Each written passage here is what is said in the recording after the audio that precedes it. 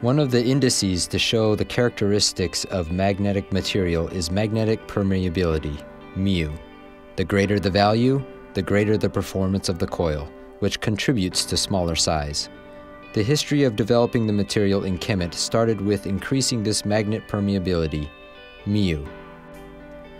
Kemet started to be engaged with high mu project for ferrite from the 1980s and it achieved the best in the class Mu 10000 in the late 1990s.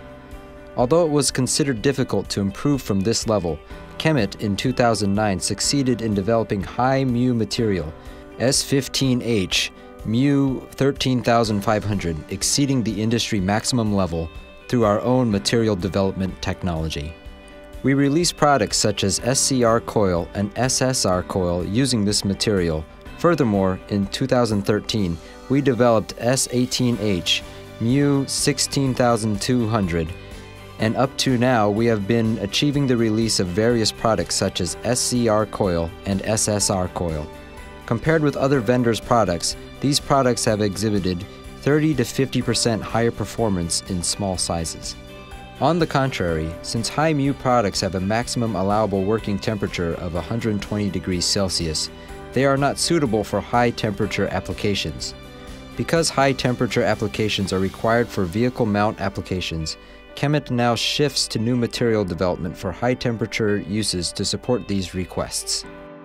Generally, high heat resistant type has characteristics of being difficult to saturate even when common mode noise current is large and allows usage for large common mode noise current. Therefore, this type can provide solutions for industrial devices that are conventionally difficult. Already 5HT has been completed development, and the product using this material is the new SSHB series. One of the most outstanding features of this SSHB series is dual mode coil, where one coil can suppress both differential mode noise and common mode noise. Since only one coil is required in the environment where two types of coils were necessary, it contributes to reduction of footprint of mounting space and smaller size of devices. To incur the normal coil element to common coil, leakage inductance is used. To increase leakage inductance, other vendors generally insert magnetic core of plate shape, which tends to cause larger dispersion of a normal coil element.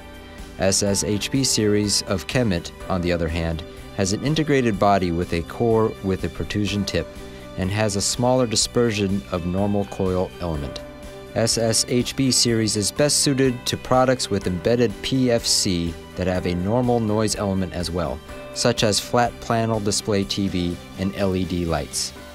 This is the case where our SSHB series is used for the customer set, flat panel display TV, and replaced with conventional 2 AC line filters of other vendors with our product, reducing 2 units to 1. As you can see on the slide, as compared with the case where two line filters of another vendor, use of the one unit of our SSHB series meets the noise standard.